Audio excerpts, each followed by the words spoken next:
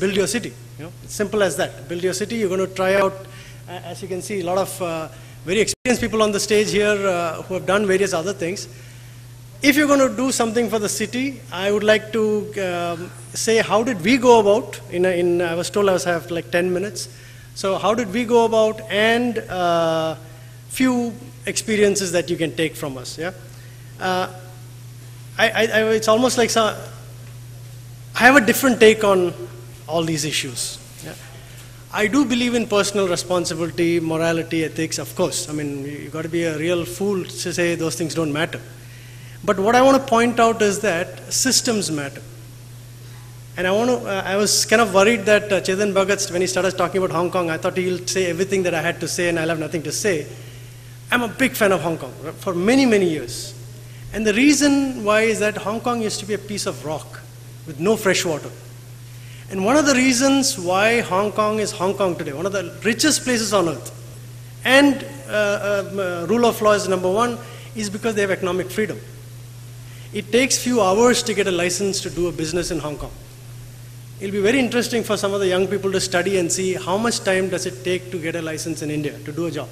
So the reason again I'm, I wouldn't have brought up these topics, I'm only bringing it up because of the questions that came up. Corruption. We are a nation obsessed with corruption.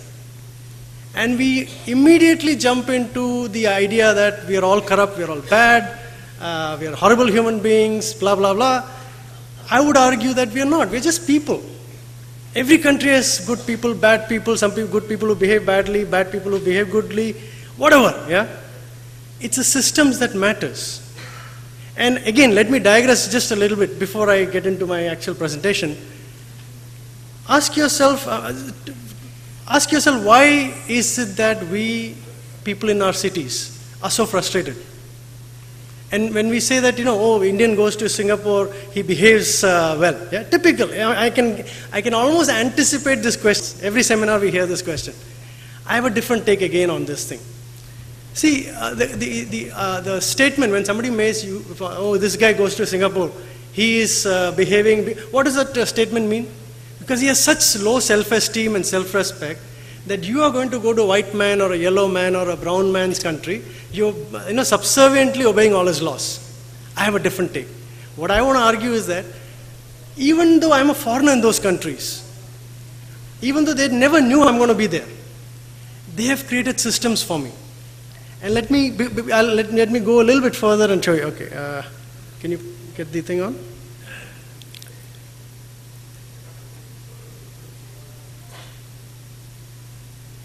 Okay. Look at this. Uh, this is one part of Chennai. Yeah. Now ask yourself. Look at the. Look at the. Uh, look at. If you look at this picture, depending on who you are, your personality, etc., etc., you will have a million different opinion about this simple picture.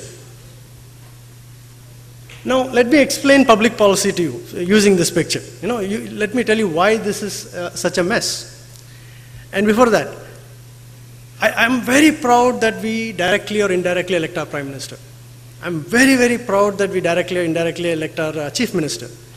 But here's my argument 99% of the people, 99% of your problem is not defense policy, it's not foreign policy, it is not a Lokpal bill in Delhi, or etc., etc.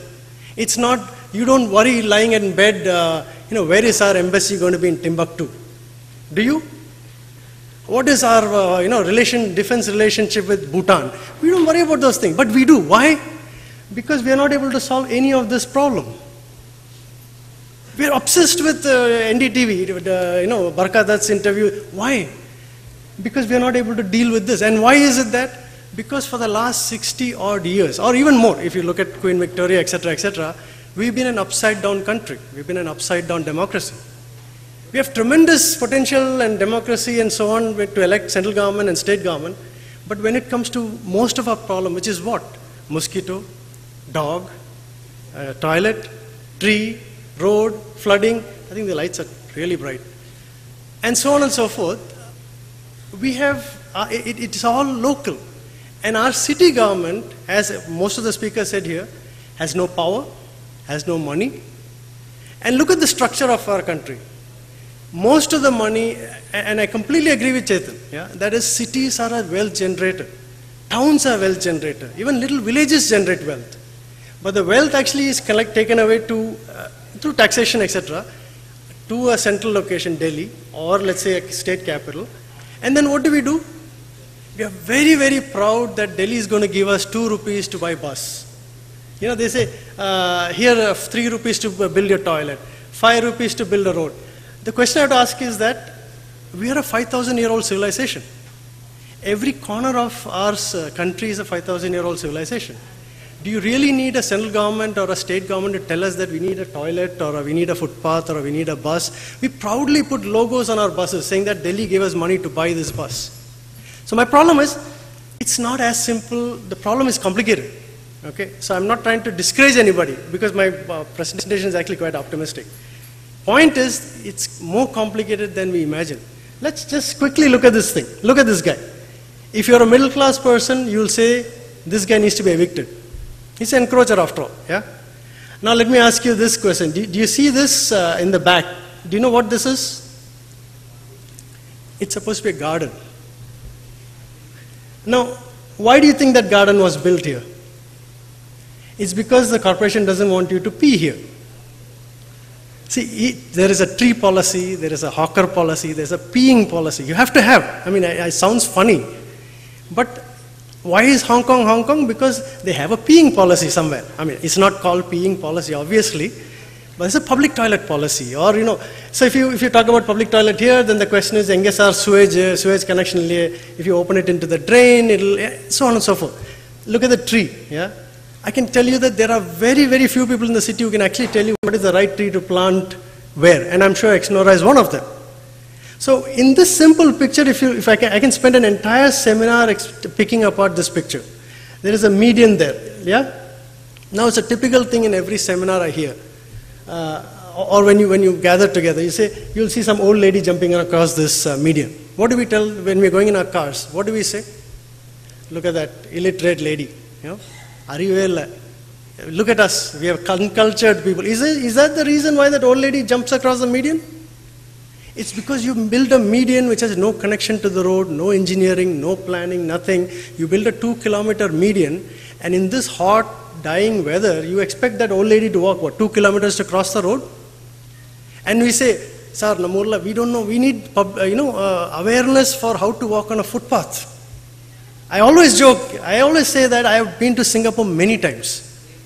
Not once has Lee Kuan called me and said, Raj, come here go attend a two weeks conference and workshop on footpath walking. Never. I've been to Singapore. How come? Uh, did they like recognize that I'm somehow footpath aware guy? No. They've given me footpath. And you may say, sir, uh, even if you give a footpath, Indians will misbehave. You know what they have? They have cameras, they have plainclothes policemen. That's part of the system. So you can be illiterate from Nagercoil going there to do uh, menial labor. You can be IT guy from Chennai going there to do wonderful hi-fi job or whatever. They have given you infrastructure. And then they're saying, look, we're giving you everything. If you misbehave, please come with us. You have a better place. We'll put you some better place. Yeah?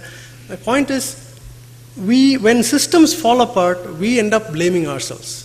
ಇವರು ಸರಿಯಿಲ್ಲ ಅವ ಸರಿಯಿಲ್ಲ ಇವರು ಮಡೆಯ is a fool this guys a moron whole country is full of uncultured people we have no civilization I hate that I absolutely hate it because I all the people I know are self respecting people all the people are good people so my argument is that improve the system, and when I say system, I don't mean just concrete and uh, steel.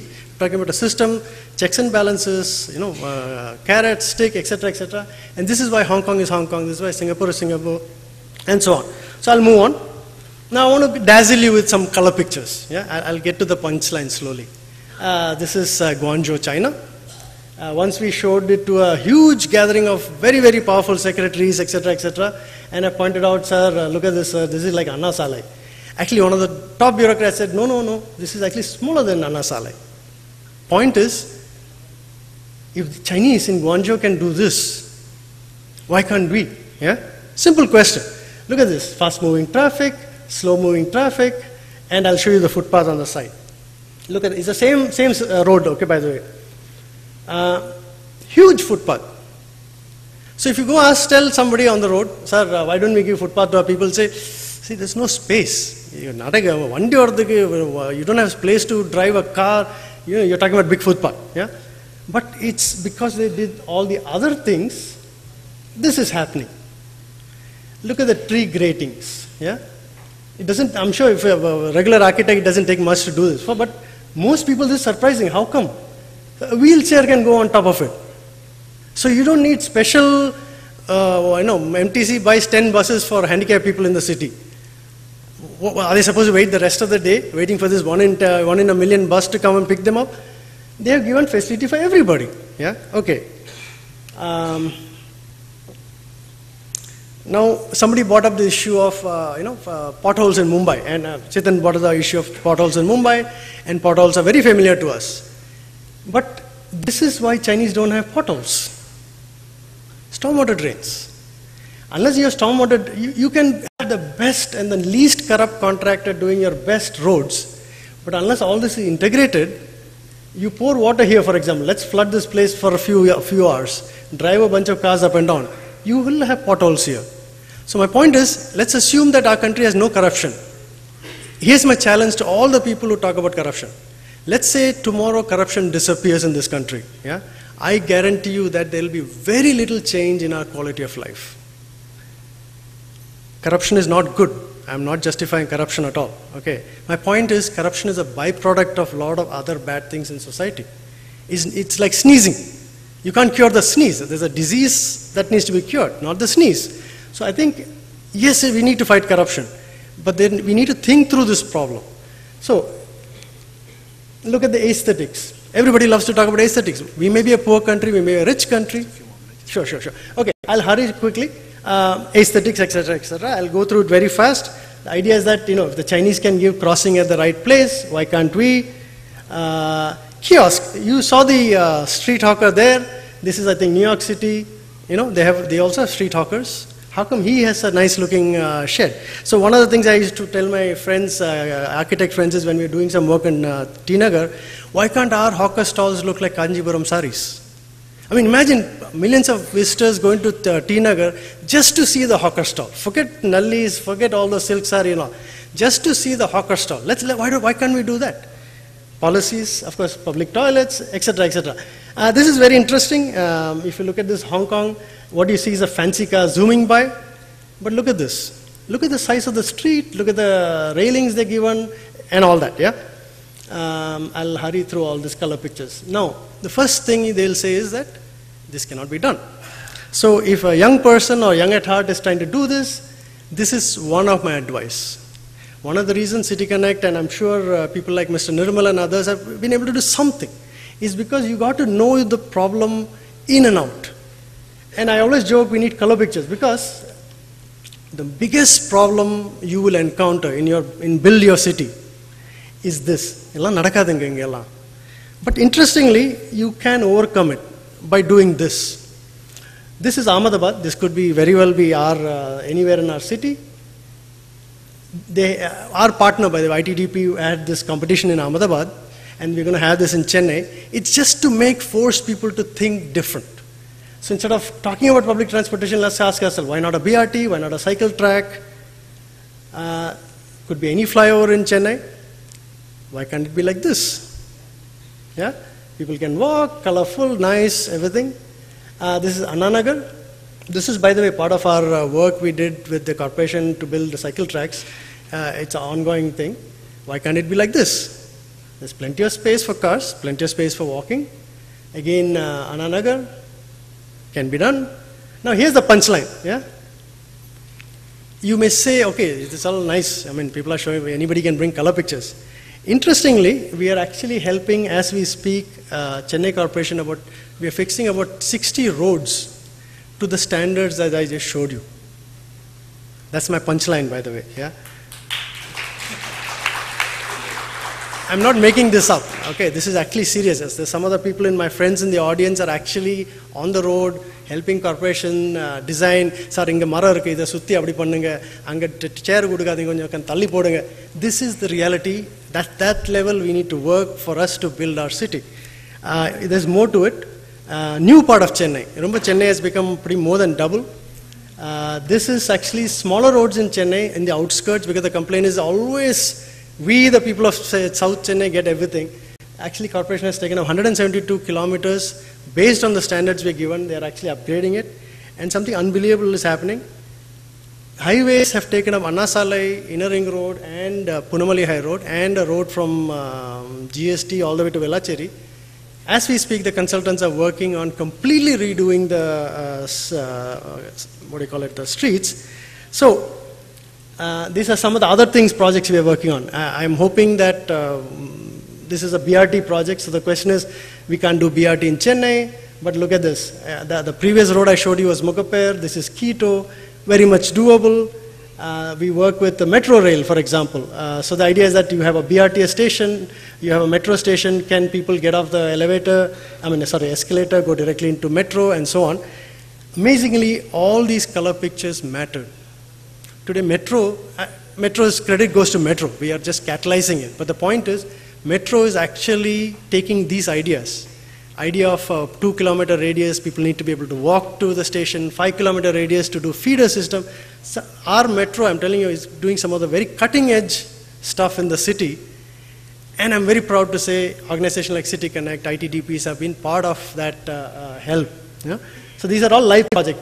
Interestingly, today in the paper you must have read about the Pallikaranai restoration project.